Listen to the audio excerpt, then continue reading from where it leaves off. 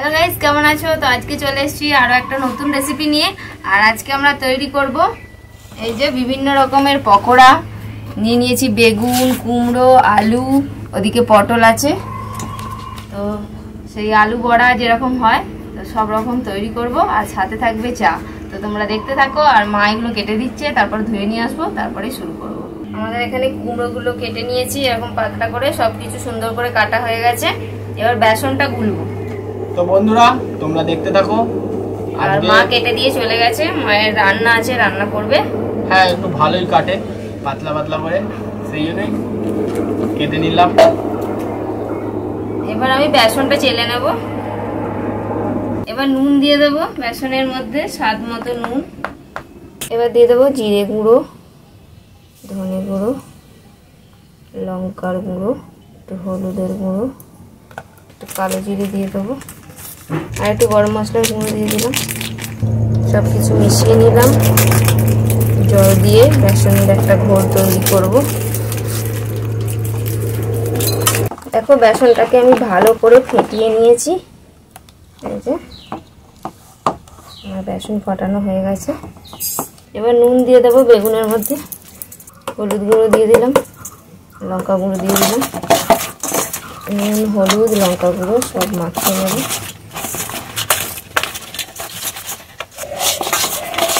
নুন দেওয়া হলো। সবেতেই নুন হলুদ লঙ্কার গুঁড়ো মাখিয়ে দেবো।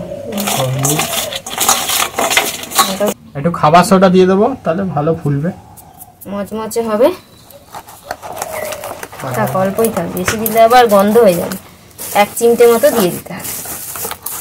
দেখো আমাদের সমস্ত কিছু রেডি হয়ে গেছে বেসন গোলা হয়ে গেছে ওদিকে সব কিছু মাখানো হয়ে গেছে। এবার শুধু তেল গরম হলেই বড়া ভাজা হয়ে যাবে। তো বন্ধুরা কড়াইটা গরম হয়ে গেছে তেল দিয়ে দেবো। আমাদের কুমড়ো বড়া আলু বড়া ভাজার জন্য। তেল গরম হোক তারপর দেখো আমাদের ভাজা শুরু হয়ে গেছে। এখানে কতগুলো হয়ে গেল? ঠিক আছে?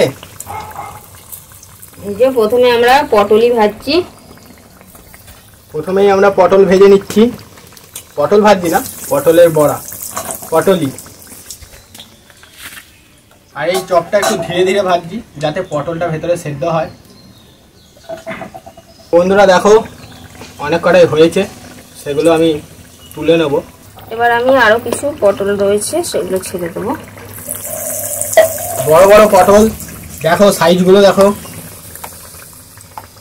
তোমরা এগুলো বানিয়ে দেখবে এর স্বাদ কিন্তু দুর্দান্ত। আর একটু লাল লাল করে করব। আমরা ভাজতে ভাজতে একটা খাই। হুম, এই দেখো ভাঙো না। গরম খুব। গরম গরম পকোড়া ভাজতে ভাজতে খাওয়ার মজাই আলাদা। আমরা আবার একটু ভাজতে ভাজতে খেয়ে নিই। দারুণ হয়েছে। সত্যি। পটলই ভাজা হয়ে গেছে। এই যে এতগুলো হয়েছে। আর আমাদের এখন চলছে আলু বড়া। তো আলুগুলোকে ভাজা হচ্ছে। বেসনে ডুবিয়ে। চারটে, গরম গরম। তেলটা ঝরিয়ে খালি তুলে নিতে হবে। এই দিকে তুলছি এই দিকে ছাড়ছে। পুরো পটা পট হচ্ছে আমাদের। তেল একদম দারুণ গরম। দিতে না দিতেই লাল লাল হয়ে যাচ্ছে, ফুলে যাচ্ছে। আমার কাছে আছে মুচমুচে, আমার কাছে আছে মুচমুচে একদম আলুর পকোড়া, আলুর বড়া। চা মুড়ি। যে তার সঙ্গে পারো খেতে পারো। খুব সুন্দর ফুলেছে বড়াগুলো। দেখো এবার কুমড়ো বড়াটা ভাজছি এটাই শেষ। সবগুলো ভাজা হয়ে গেছে।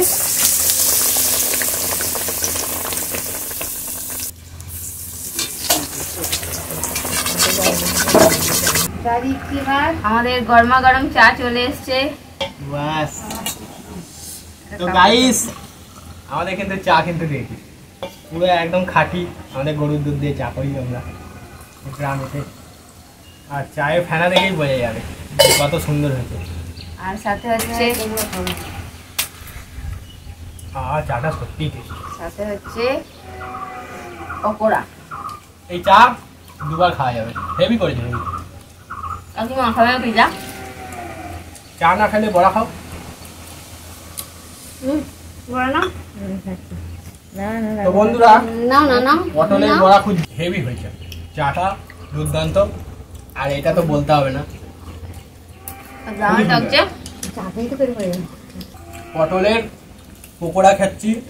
সঙ্গে ভাজতে ভাজতে আমি বেগুনি খেয়েছি। তারপরে কুমড়ো আচ্ছা। কুমড়োর বড়া। হুম আলু বড়া অনেক কটাই হয়েছে। চার পাঁচ রকমের আলিয়ে সব রকমের বড়া দেখিয়ে দিলাম। কীভাবে বড়া বানাবে আর দোকান থেকে কিনতে হবে না। তো আজকের ভিডিও কেমন লাগল কমেন্ট করে অবশ্যই জানাবে। আজকের ভিডিও ভালো লাগলে লাইক করে দাও।